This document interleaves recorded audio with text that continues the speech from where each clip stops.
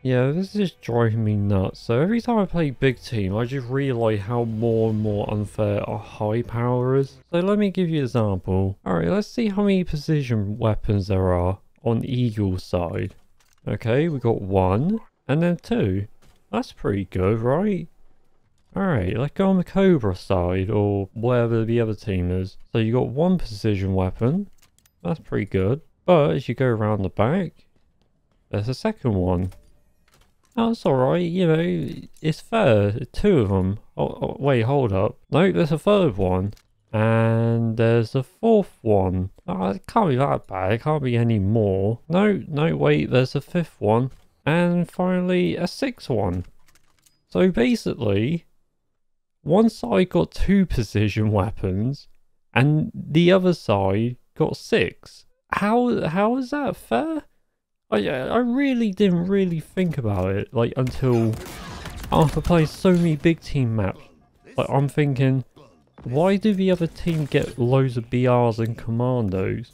And then I realised there isn't any on one side of the map. It drives me nuts. So I was going to make a video about Highpower being unfair in a different way, but now I'm thinking, wow, this map is actually really unfair. So the other thing I want to address is the middle weapon has a perfect overview from this base, from a Cobra base, meaning they can see what the power weapon is and when it's going to spawn. Meanwhile, the other side cannot see it at all. So the other problem is vehicle spawn is right in front of the Cobra base, meaning they can see what when the vehicle going to drop in perfect view. Meanwhile, the other side don't even have a vehicle drop at all.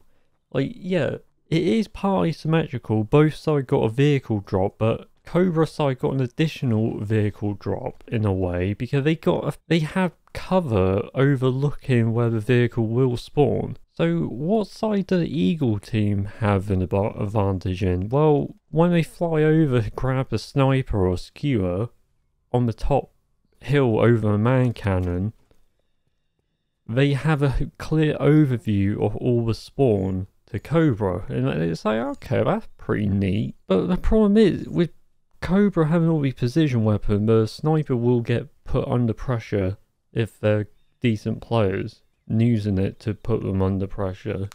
Also, I find it a bit weird how the Cobra side, or whatever side you want to call it, when you're camping Wasp spawn, you know, taking the enemy team Wasp, which you should do, there's more cover, meaning, like, I, I don't see the point of Eagle side at all. It seems super, un, super unbalanced. Oh yeah, and in the last video I said 343 will be buffing the Wasp by health. We don't know how much, it might be the tiniest amount, but it's still, it's OP. My dude, like, you see clips of people getting like killionaires in this constantly. Because it's obvious, it's just a no, it's just really powerful. If someone got a Hydra, then you should hide behind the mountain and third person with the camera. So yeah, the thing I want 343 to do is add in more weapon placement for the Eagle side. Which they did in Deadlock. The BTB map Deadlock, they added a few weapon racks, they rotated them around and made it symmetrical, you know, more even, more fair. So there's a lot of spaces. They could put a weapon rack here, know, like a Commando or a BR. Or they can put one over here.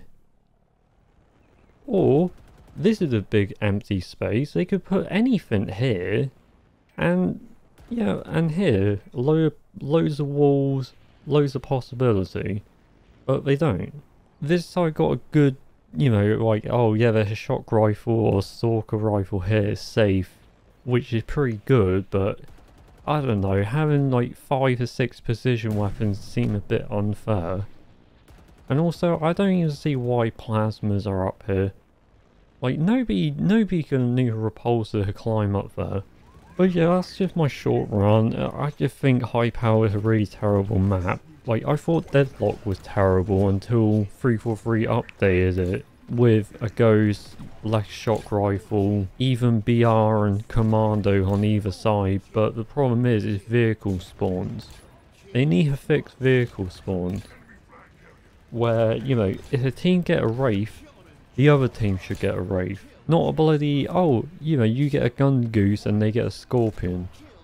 Unfair. But anyway, yeah, that's what I want to see in the drop pod update. You know, drop pod 1 or 2, I don't know. It's just, there's so much stuff to be worked on. I think there's a lot of stuff that could be worked on through the custom options if there's a way, I don't know. But yeah, I've been Crespo. Thank you for listening. And I'll see you in the next one.